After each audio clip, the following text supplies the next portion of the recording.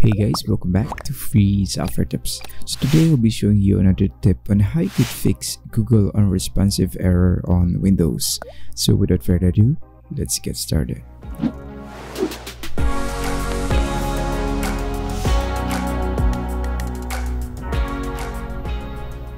So first, we're going to change our DNS settings by going to our network icon on our taskbar. Right-click on your Wi-Fi or network icon and click on Open Network and Internet Settings. If you don't have the Wi-Fi icon on your taskbar, I have a tutorial on how you could restore that particular icon on Windows. So we're going to scroll down until you see the Change Adapter options. Right-click on your network adapter click on Properties. Select or open up Internet Protocol version 4, click on Properties. Under the um, Obtain DNS server, just click the Use following DNS server addresses and type in 1.1.1.1 and 8.8.4.4. This preferred DNS server is a Cloudflare DNS server and the alternate DNS server is a uh, Google DNS server. Just simply hit the OK button and close that uh, Windows and then go to the start button and right click it and click on command prompt as administrator. Type in ip config space forward slash flush dns. And next type in um, net sh winsock reset. And uh, restart your computer and see if that would fix the issue on your Google Chrome. Next is we're going to go to our Google Chrome if you still experience the particular issue is uh, we're just going to click on this uh, icon right here and uh, look for more tools and go to extensions sometimes uh, the extensions that are currently installed on your chrome causes this particular issue.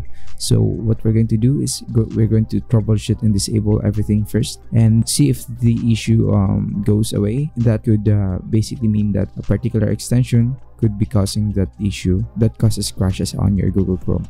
Once you have already disabled everything go ahead and restart your google chrome and see if that would fix your issue and observe until if your Google Chrome is now stable. And if you still encounter a particular issue, go ahead and click on this icon again, click on settings and go to the advanced settings right here. And under the system you'll be able to see this use hardware acceleration when available untoggle that one and relaunch your google chrome Next, if uh, observe that one, if that would fix your issue. Again, if you still encounter this issue, click on the icon right here and click on settings. And under the advanced settings, go ahead again to system and under the open your computer proxy settings click that one. Be sure to check the automatically detect settings unless you have a particular manual proxy configuration. Be sure that if you do have a proxy configuration they are properly configured. Once done close that one and relaunch your web browser. If all um, solution doesn't still fix the issue go ahead and open up a file explorer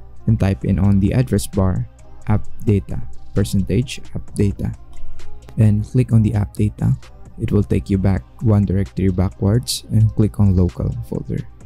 And scroll down until you see the um, Google folder and click on Chrome user data and you'll be able to see the default folder right here. We're just going to rename this one as um, default that old folder and we're going to relaunch our web browser and it will reset your um, Google Chrome to fix any possible issues that may be causing the crashes on your Google Chrome.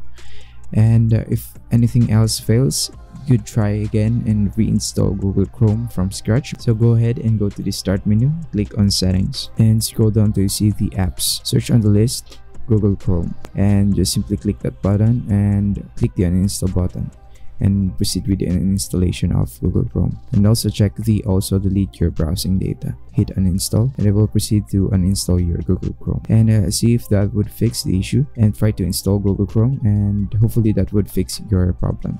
So thanks for watching. If this video helped you, don't forget to leave your comments and feedback down below.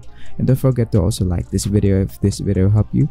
And uh, if you haven't subscribed on this channel yet, click that subscribe button and bell notification to get updated with the latest tips and tricks on this channel. So till then, see you again on my next video.